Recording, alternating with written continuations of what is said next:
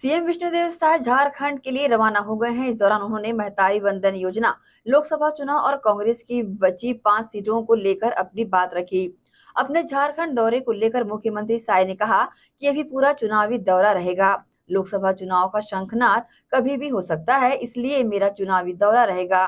कांग्रेस की पाँच सीटों पर पेज फंसा हुआ है। इस पर सीएम साय ने कहा कि ये उनका मामला है। वही जब उनसे किसानों को लेकर पूछा गया तो उन्होंने कहा कि कल किसानों के लिए भी ऐतिहासिक दिन रहेगा।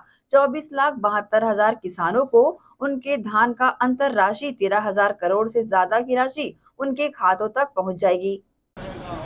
अभी तो अभी तो पूरा चुनावी दौरा रहेगा। लोकसभा चुनाव का संकनाद कभी भी हो सकता है तो चुनावी दौरा रहेगा। पाँच सीटों की अभी भी पेज फंसा हुआ है कांग्रेस।